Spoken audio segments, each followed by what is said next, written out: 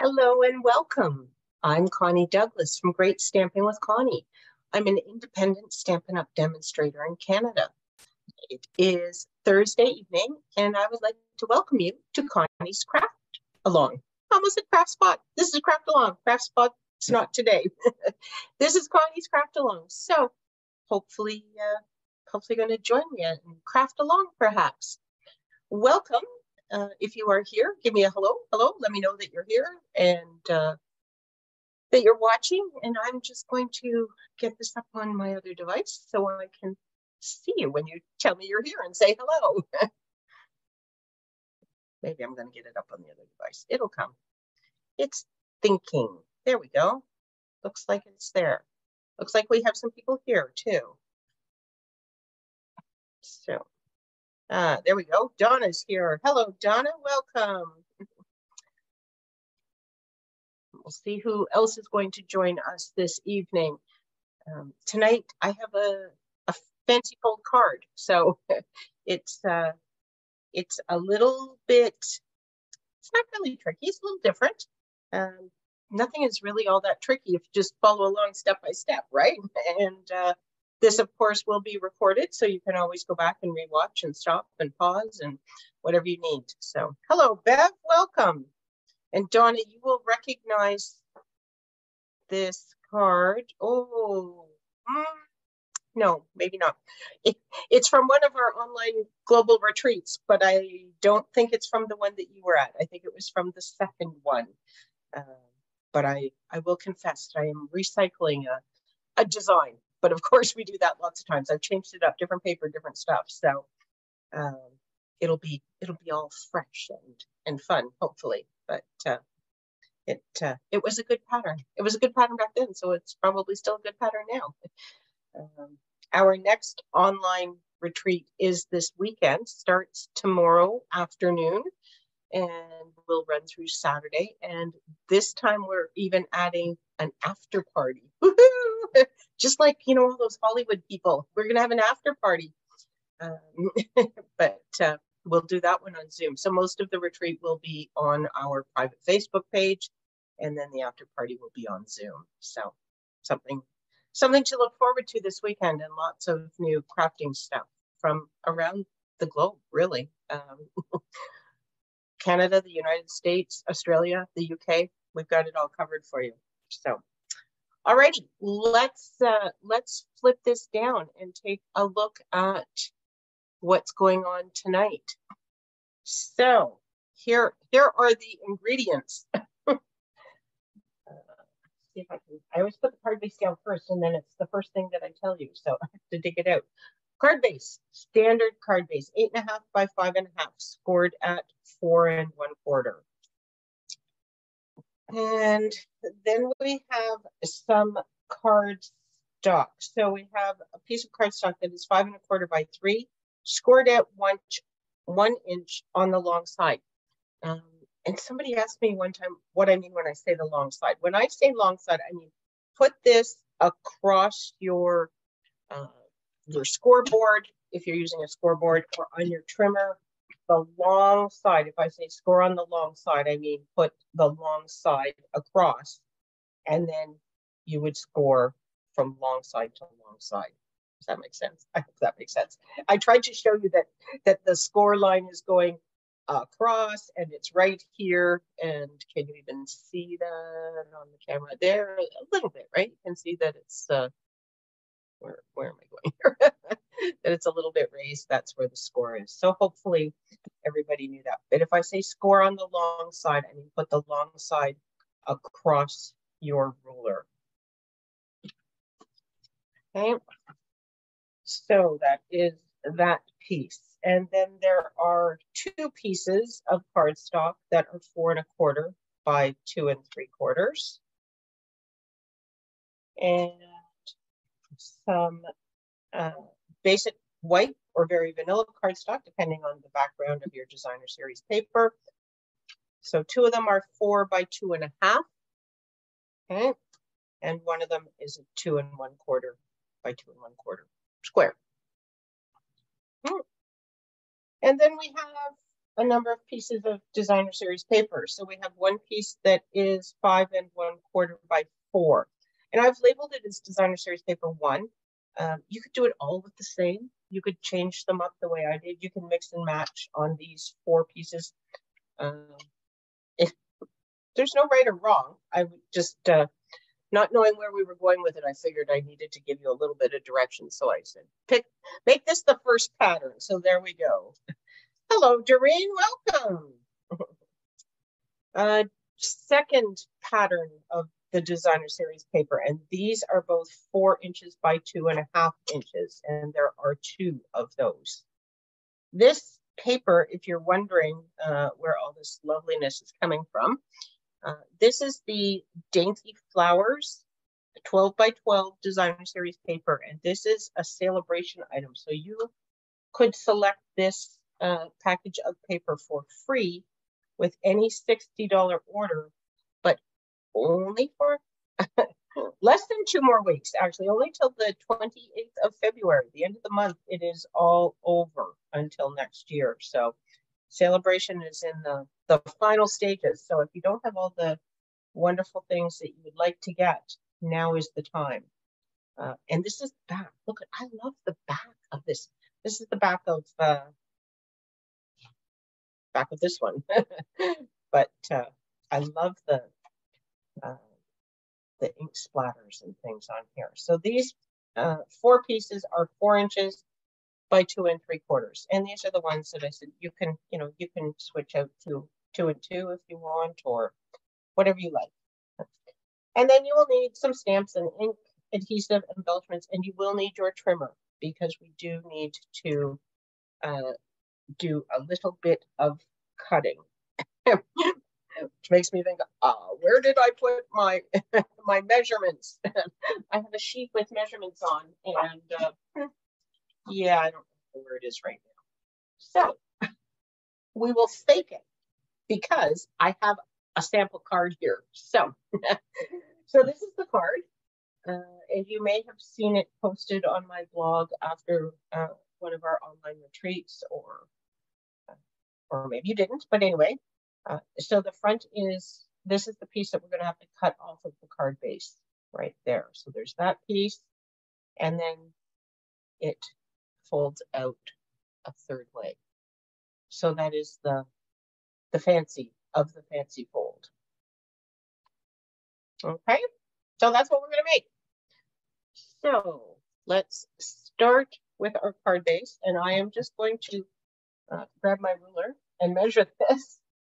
I think it's three inches. Nope, it's uh, two and a half inches. Oh, it is three inches here, right? Yes. So three inches, three inches from one end, two and a half inches from the other end. So on your card base, uh, this there's my mountain. So this is going to fold together and I'm just going to kind of crease that for now. And then I want three inches uh, of it left. So I can put this so this is the bottom, right? This will be the bottom of the front. So I'm going to put that at three inches. And I am going to cut, but just down to my center score line. So I'm actually going to start at my score line, which is at four and a quarter. And I'm going to put my blade down right there. And then I'm going to cut up. Okay. I find it easier to start here rather than trying to just stop there. Okay. And then we're going to turn it and we're going to cut right along the score line. Okay. So that is four and a quarter. And I am, uh, did I say two and a half inches? So, and then we're just going to cut up. And if our cut didn't, oh, it did kind of go. Kind, uh, kind of cut, oh, I know. I was supposed to change the blade in my trimmer. so we're just gonna cheat a little bit because uh, one of the main things you wanna do with your trimmer is make sure your cut is straight. Because I don't know about you, but I cannot hand cut straight. So not enough for a card base anyway. I can cut a little tiny, uh, a strip of cardstock if I'm trimming around a, a sentiment strip, but uh, not so much on something as wide as a card base. So there we go. And I have just trimmed off a little bit extra just to be on the other side of that score line. Okay, so there is the one side of my card base with the one, sorry about that. Set it up with a shelf here, but clearly not far enough and it slid right off. So it's a little bit of a trim. There we go. Okay, and then we had uh, this one piece that we had our score line that was scored at one inch. So I am just going to and burnish that, burnish this while I'm at it. Okay, this piece of cardstock, um, I was thinking it was the same size, but it's not. So this is just uh, for for another project. We're not going to use it on this card. We don't need it, so we've just removed it. Uh, but we do need this piece. Alrighty, and then we also have, um, I'm gonna pull out these pieces of cardstock. So all of these pieces of designer series paper, it's fairly easy to see where they will go. These four pieces uh, go on the, the front of these flaps and the back of these flaps, okay? So what we want to do before we start gluing things down, we want to actually attach uh, this flap so that our paper covers our seam, okay? So we're going to take this, and this is just going to line up right at the bottom so that it matches up with that, okay? So I am going to use some liquid glue on here just so I can kind of wiggle it around in case I don't get it quite in the right place. There we go. And put it right down at the bottom of my card base. Okay, so I've just lined it up at the bottom and I'm, whoops, lining it up at the edge. Okay, and you can double check that you've got it right by folding uh, the front piece in. Okay, I'm just going to give that a nice press. So Bev, I hope your uh, I hope your wrist is is healing nicely. But I have to tell you, you are not missing a banner year on the ski hill. Oh my goodness.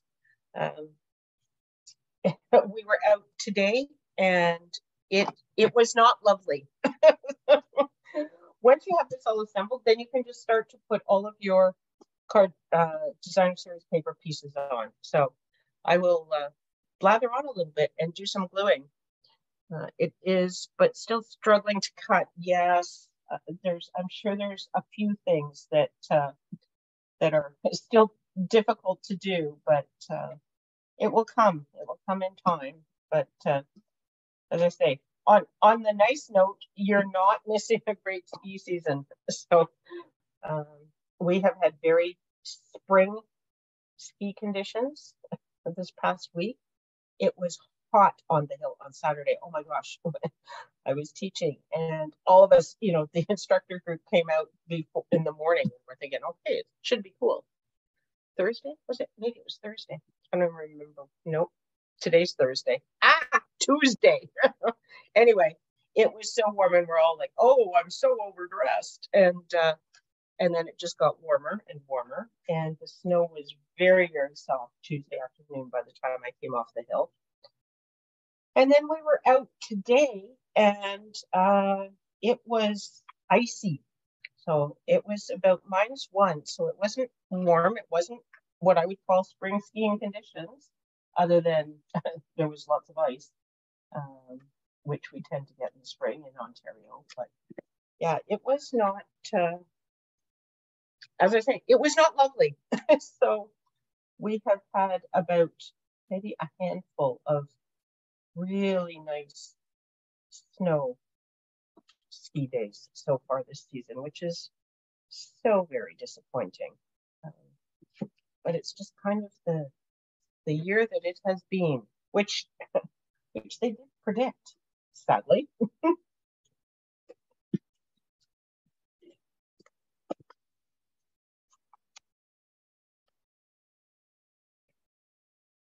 oh, this looks like a wrong size. this must have been my leftover piece. It is. Uh, and I don't have my little chopper down here. So uh, I need two and three quarters, and this is clearly more than two and three quarters. So now I'm going to get, see, this is why, why I need to change. I'm glad I didn't change my blade actually, because uh, I'm going to have adhesive on it. And now I have a piece of paper stuck to my trimmer. There we go. It's all good. Um, you may have noticed my white ruler here. Um, it's just a little easier to read the numbers. And how did you get it white, you ask? Well, this is a piece of Terran tape. so we have the rules of uh, double-sided Tear & Tape. I just stuck one down there and didn't take the top top piece off. It fits perfectly. So if you uh, are having trouble seeing the numbers on your trimmer, that's a great way to to get some white behind it so that you can just see it a little better. See the numbers. There we go. That fits better. Should check these others before I put the adhesive on them. So once you have uh, the card all sort of assembled like this, you've done all the, the tricky bits, shall we say. And then it's just the decorating bits. One more.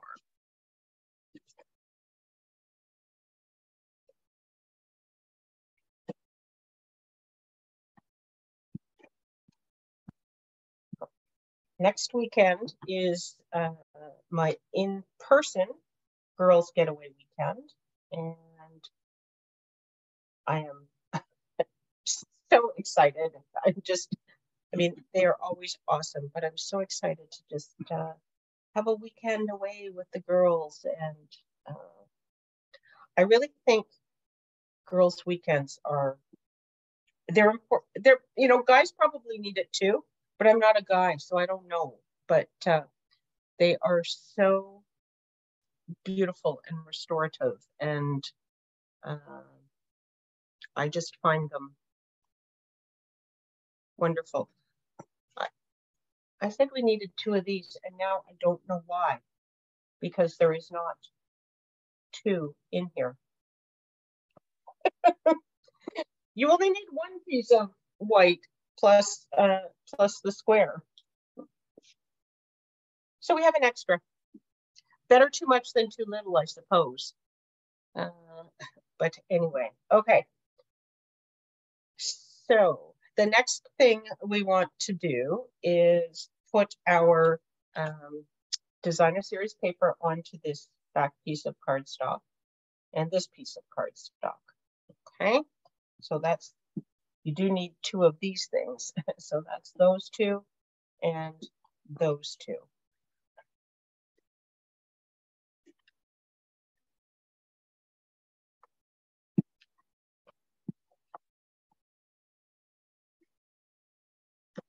When in doubt, check your sample. There we go.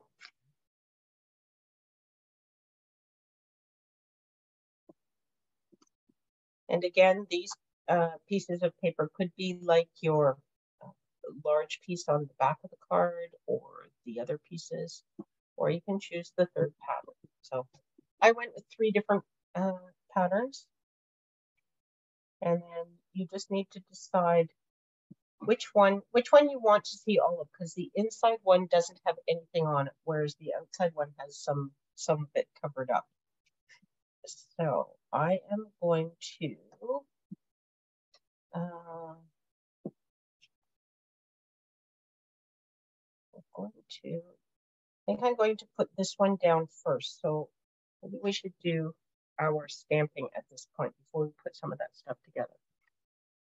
So where did I, uh, what am I, I was just, I'm going to use the wildflower huh, uh, because it's got little flowers very similar to my designer series paper. There is uh, there is a stamp set in the mini catalog that coordinates very beautifully with this paper, but I don't have it. So I'm using this one. and I have rich razzleberry ink, which is this purple color that is predominant, and blushing bride, which is uh, some of these flowers. Think I'm just going to put a few little flowers down in the bottom corner of this piece. Right, like that. Ooh, very, very intense. this must be a very juicy ink pad. Mm-hmm. Let me just clean this off a little bit. Since it's very inky, I don't want to lean in it. okay, and then uh, we don't need this one, but we do need this one. So what I am going to do on this one, I have a stem and I'm just going to, actually I'm going to start, I think with the, uh, the sentiment, just so I know where that placement is. So I'm going to go back to my rich razzleberry and I have, I actually went and pulled the thinking of you from the season of chic stamp set, which is what this whole card featured was the whole season of chic suite. But there it is there. And I could use, I can always use thinking of you cards because those are the ones that I donate most frequently. So I figured I would use this. I'm just going to put this quite close to the top. And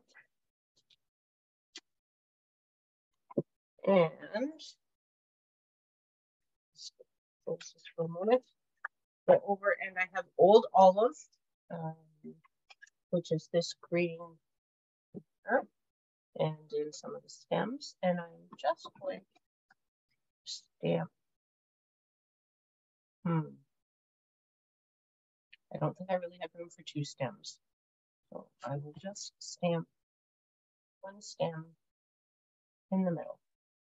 And some flowers around it. And I think I will do those mostly in Blushing Bride, just so it's there's some different colors on the front. So this stamp, you'll see, can you see? There's actually four flowers on the one stamp and they fit onto the stem here. Okay. What does I do have maybe four flowers? I'm not sure whether the fourth flower will. No, it doesn't come onto there. So let's just put this right about there. Uh oh, don't push too hard. I've got ink on my stamp. Okay, we have a little bit of ink that got down there. Uh, but, you know, that's okay. These are really funny looking flowers. They are supposed to be very sort of creative, crafty, but I think I am going to go and grab this little guy, a little itty, itty bitty bit of a flower stamp. And I'm going to pull in my rich razzleberry and I'm just going to kind of round out some of these flowers a little bit with this little guy because it's almost a, a center. Oops.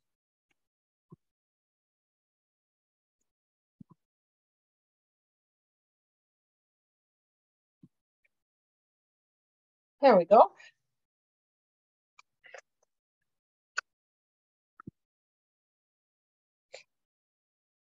This my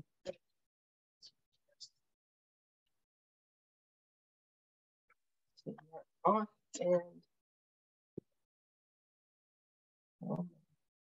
of the pink flower thing.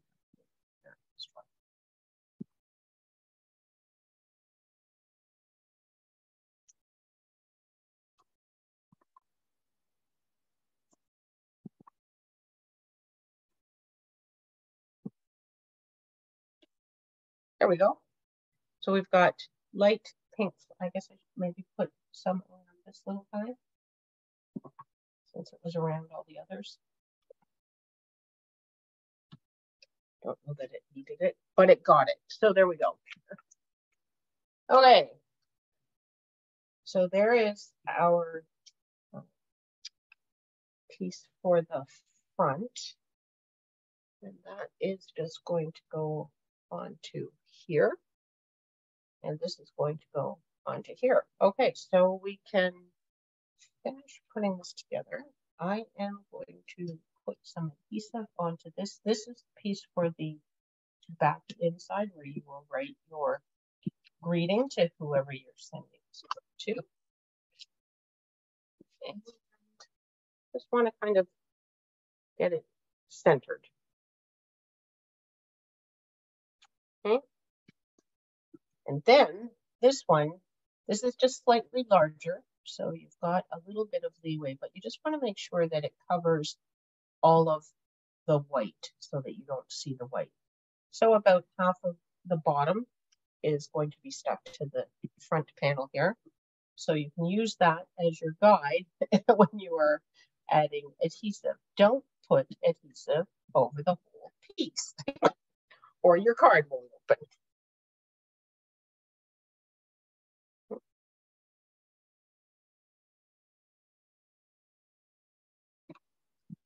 Uh -huh. And then the front piece, uh, same thing. So you're just going to cover over where where it meets and matches and stuff. So again, adhesive on the bottom section only.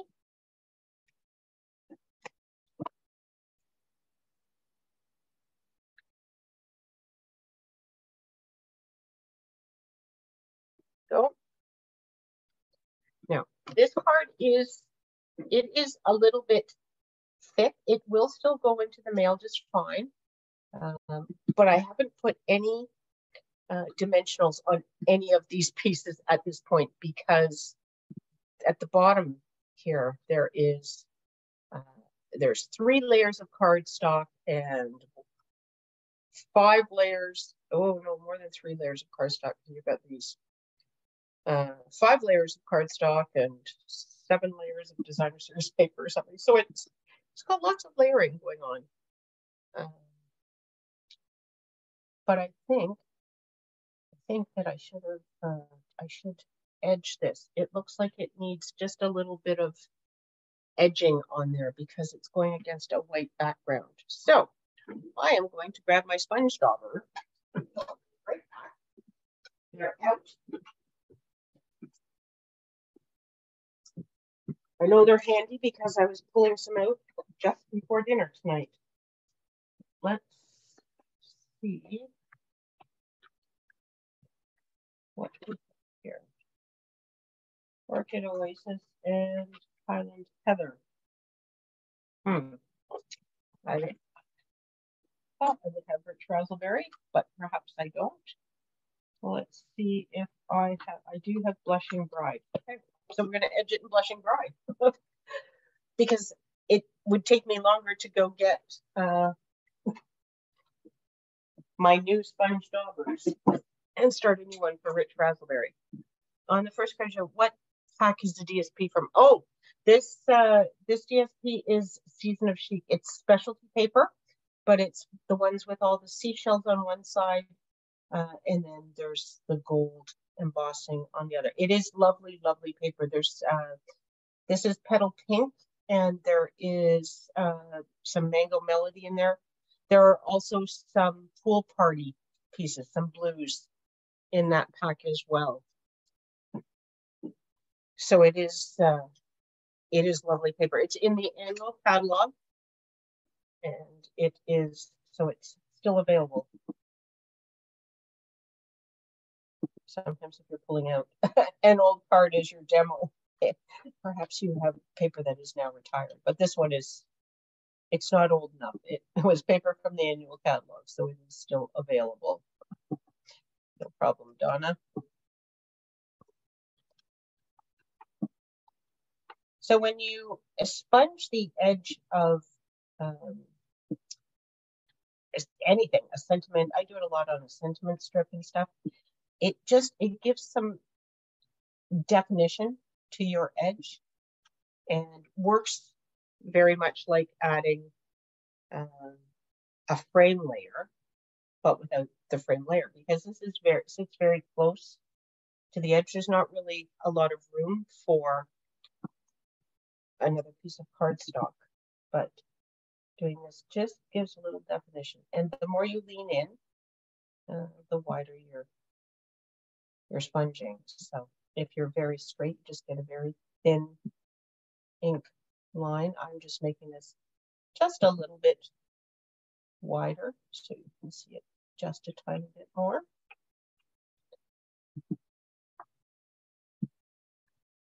This is often the first the first technique a new stamper will will learn and try because it's easy to do, but it uh, it makes a big difference. That and stamping off of the first ones that we do. Now, if I put this at the top, if I put it at the top, I it, it would sort of even out the thickness. But I don't really have I don't have a pretty picture at the bottom then. So I think I'm just going to add it down near the bottom. And I think I'm going to put it on some dimensionals, even though the card is getting a little bit thick. Um, I think it'll it will still be okay for the mail. So I'm going to I'm going to do it and hope that the post office doesn't get upset with me.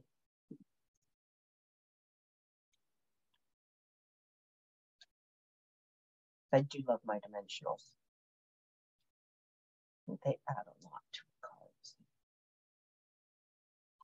Okay, and then we will just put this down about there. Oh, don't push, it's not centered. Saved it.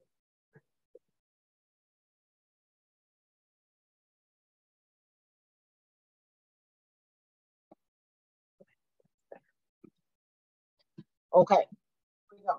And now we just need some gem. What do we think? Uh, there's some iridescent pearls. These are just the tiny ones. They could work. I think that's what's on here. Big one and a couple smaller ones. Uh, I think I want. Why do I have two packages of Milky Dots open?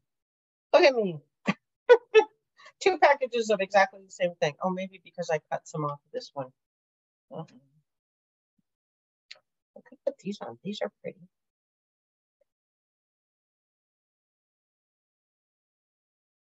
They're, called petal pink, but they're a little bit purplish. So that's uh, that's one. Here's some bigger ones of these iridescent guys. Oh, the other one might be the iridescent uh, rhinestones.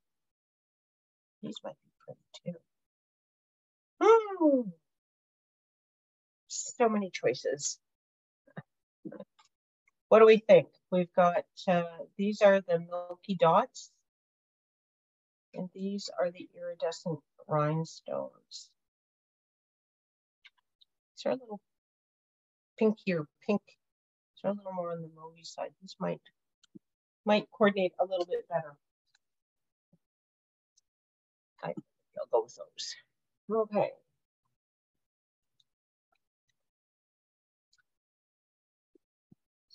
Just sprinkle some of these onto the card.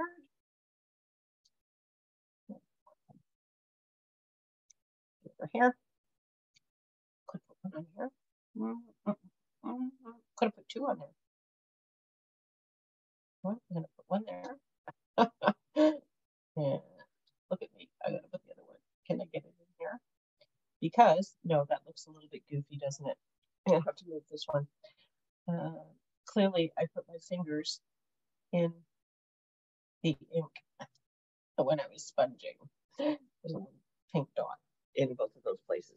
You probably can't see it on camera, so I can get away with it. But one is under there, and the other one's up here. It's very faint.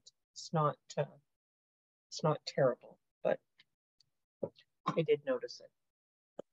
So there we go. There is our card. And then when you open it, you've got the three panels. Little bit of a fun fold for you for this evening. Oh, that's a lot of apps. Fun fold for this evening. so, um, yes. Oh, my sponge dauber is starting to daub away. Someone asked me how long sponge daubers last. I don't think I have ever, like I have one for most colors. I don't think I've ever replaced one, but some of them are starting to to peel apart. Just sort of through use, it happens. But you love it. Well, thank you, Donna. I'm glad you liked it. It's uh, as I say, it's not difficult when you step through it, but it is a little bit different. So it's kind of fun. And it will stand, and you could even, you know, create a little a little triangle to stand up. Oh, doesn't look like much from the top, really, does it? but anyway, it, it will stand if anybody wants to put their card out on display. So, alrighty, let me let me come back here to add this back. Okay, so there we go. Um, we didn't end up needing that other piece of white cardstock. I don't know I don't know what I was looking at when I thought I needed two of them, but uh, but you don't. One will do. So anyway, better to have too much than too little, as we said. I hope you enjoyed the card, and I want to thank you so much for hanging out with me this evening. Always a fun time crafting together. Can't think of, uh, don't think I have any other news for tonight. So if you are at the online retreat on the weekend, we will see you there. And if not, um, hopefully we'll see you on Facebook next week or at the Girls Getaway weekend.